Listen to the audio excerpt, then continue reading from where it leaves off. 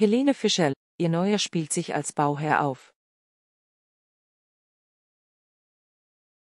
Er hat nicht nur eine neue Freundin, sondern auch schon bald ein neues Haus.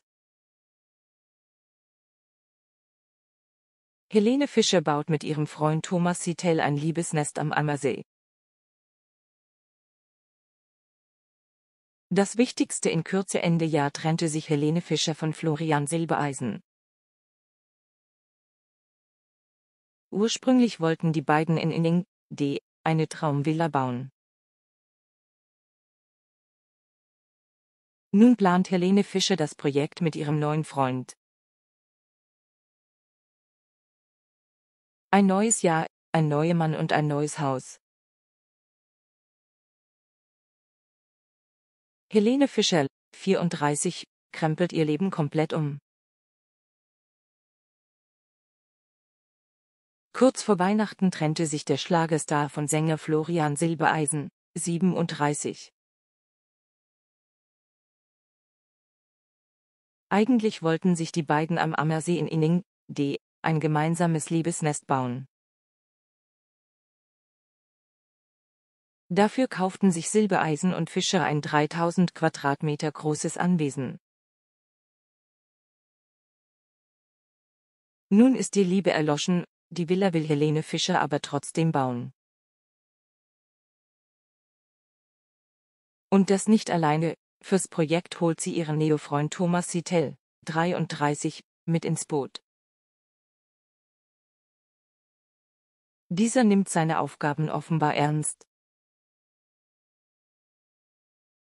Freund von Helene Fischer spielt Bauherr wie das Magazin Closer schreibt, geht der Tänzer auf der Baustelle ein und aus. Dem Bericht zufolge spiele sich Fischers Liebste gar als kleine Bauherr auf. Sietel unterhält sich mit den Handwerkern, inspiziert sowohl Grundstück wie auch Bootshaus haargenau.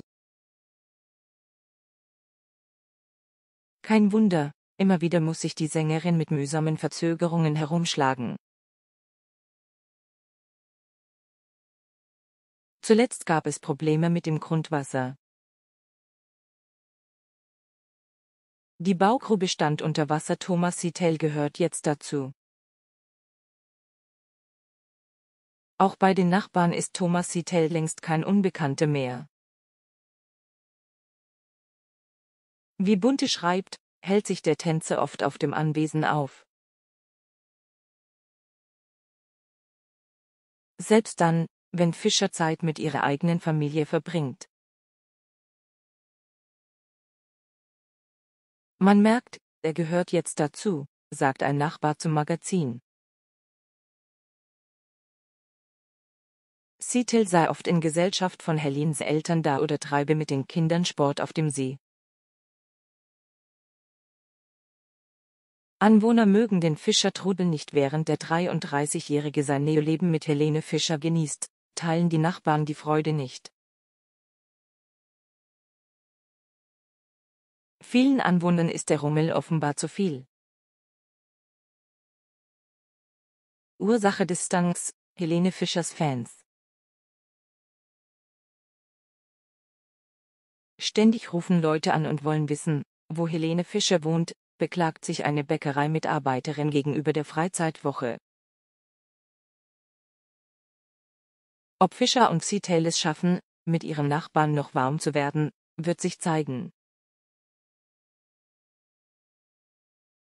Eins hatte ihnen Florian Silbereisen voraus, der Sänger ging gar zu Gemeindesitzungen, um sich mit den Nachbarn gut zu stellen.